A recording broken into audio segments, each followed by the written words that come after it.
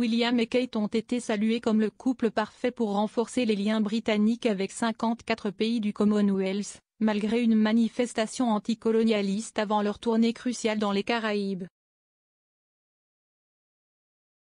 L'ancien correspondant royal de la BBC, Michael Cole, a déclaré « Je crois que la reine peut se faire un câlin à la maison, sachant que l'avenir sera entre les mains les plus sûres jusque dans ce siècle. » Si vous deviez aller au Central Casting à Hollywood, vous ne sauriez pas être en mesure de trouver quelqu'un pour mieux jouer le rôle de dirigeant dans une monarchie moderne.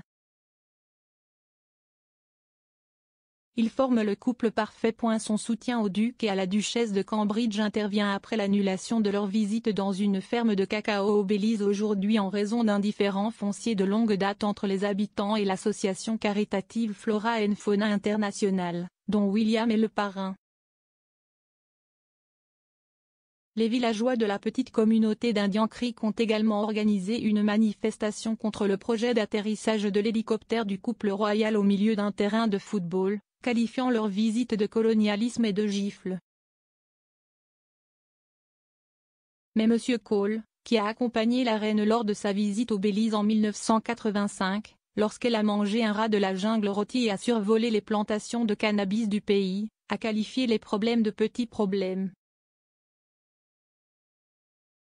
Mardi, William et Kate s'envoleront pour la Jamaïque où, de manière poignante, ils voyageront dans le même Land Rover à toit ouvert à partir duquel la reine et le prince Philippe ont salué des milliers d'écoliers en liesse lors d'une visite d'État il y a près de 69 ans. Cette fois, cependant, le duc et la duchesse seront en visite dans un contexte d'incertitude croissante quant au rôle de la famille royale dans les Caraïbes et de crainte que la Jamaïque ne suive la Barbade qui a destitué la reine à la tête de l'État il y a quatre mois. Le quotidien insulaire The Gleaney réclame un référendum public et le président jamaïcain Andrew Holness serait favorable à la transition de son pays vers une république. Les aides espèrent que William aura et que Kate pourra raviver la ferveur royale avant de passer vendredi et samedi prochain aux Bahamas avant leur retour en Grande-Bretagne dimanche prochain. Une source royale senior a confirmé hier soir que le programme d'aujourd'hui avait été réorganisé, ajoutant, en raison de problèmes sensibles impliquant la communauté d'Indian Creek, la visite a été déplacée vers un autre endroit. M. Cole a déclaré que William et Kate sont devenus habitués à marcher sur la corde raide diplomatique si nécessaire. Il a ajouté, il est né pour son rôle et l'a accepté avec aplomb.